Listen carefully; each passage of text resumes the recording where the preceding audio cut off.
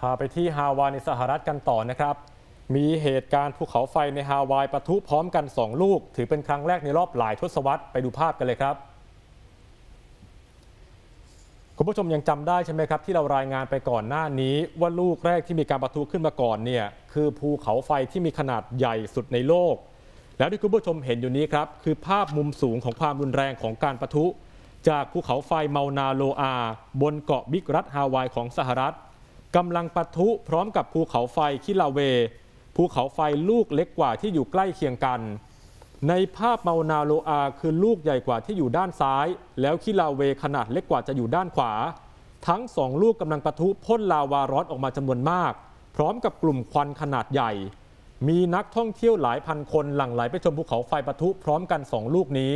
เพราะถือเป็นปรากฏการณ์ที่หาชมได้ยากครับ สำหรับเมานาโลอานั้นเป็นภูเขาไฟที่ยังมีพลังใหญ่ที่สุดในโลกปะทุเป็นวันที่ 4 ติดต่อกัน โดยสำนักสำรวจธรณีวิทยาสหรัฐ หรือ USGS รายงานว่าก๊าซร้อนเท่าถ่านและลาวาที่พ่นออกมา มีความสูง 20-25 เมตร ลาวาไหลลงไปตามไหล่เขาเกิดเป็นทานลาวาสายใหม่สีแดงฉานหลายสายครับ แล้วสถานการณ์ล่าสุดที่เกิดขึ้นเมื่อวานนี้ตามเวลาท้องถิ่นก็คือ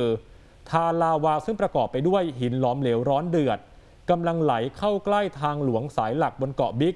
ชื่อทางหลวงแดเนียลเคอินูเย หรืออีกชื่อหนึ่งก็คือถนนแซดเดิลขณะนี้ลาวาอยู่ห่างจากทางหลวงสายนี้เพียง 8 กิโลเมตรเท่านั้น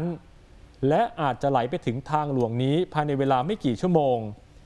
ซึ่งทางการฮาวายก็มีคำสั่ง ห้ามจอดรถขวางทางหลวงดังกล่าว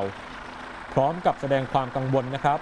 ว่าหากลาวาไหลไปถึงจริงจะสร้างความเสียหายอย่างหนัก ด้านผู้ว่าการรัฐฮาวายครับ เดวิดอิเก้ได้ลงนามคำประกาศฉุกเฉิน อนุญาตให้ทุ่มเททรัพยากรรับมือสถานการณ์ภูเขาไฟ แต่เขาก็ยืนยันว่าขณะนี้ยังคงปลอดภัยที่จะไปเยือนเกาะบิ๊ก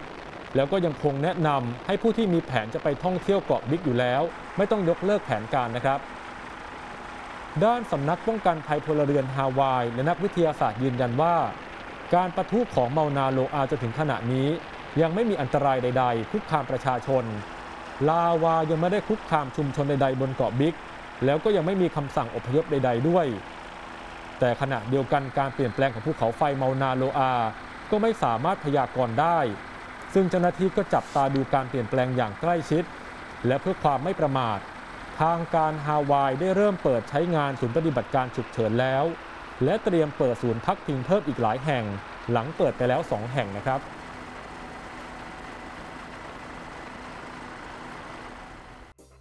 ขอบคุณที่ติดตามรายการ TNN News ข่าวเย็นนะคะ อย่าลืมกด subscribe กดไลค์ กดแชร์ในทุกช่องทางออนไลน์ของ TNN ช่อง 16 คุณจะไม่พลาดทุกรายการสด รวมไปถึงคลิปวิดีโอที่น่าสนใจอีกมากมายค่ะ